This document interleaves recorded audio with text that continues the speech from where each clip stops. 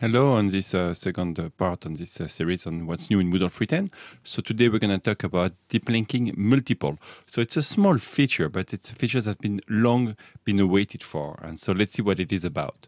So here I'm going to pick a tool here, again the same test tool.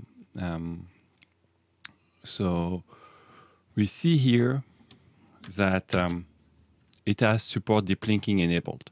And that's very important, support deep linking. Deep linking is a link to create links. And really, uh, in modern LTI, you should not use uh, any manual creation of links. Users should always use deep linking to import links into their course. So here we've enabled uh, support deep linking in, this, in that tool. And so now let's see it uh, working as an, um, as an instructor. So So we're going to pick a course and we're going to turn anything on and we're going to import a link uh, through deep linking. So let's see what actually changed there. So you see I'm going to pick Robotest and because Robotest allows deep linking, then I can select content. And again, I don't want to have the user to fill that form. So it's just going to select content and bring my content here. So I'm just going to turn on here inspect element so that we see what's actually being passed. So I'm going to select content here.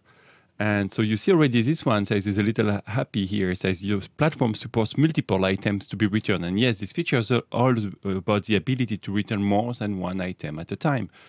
So we're going to capture into the um, network the actual ID token value. So we just grab everything here to the, and then we're going to paste it here. So uh, to see the actual content of what's being sent uh, from Moodle. And somewhere here, we're going to find the claims that contains information about deep linking settings capabilities. Here it is.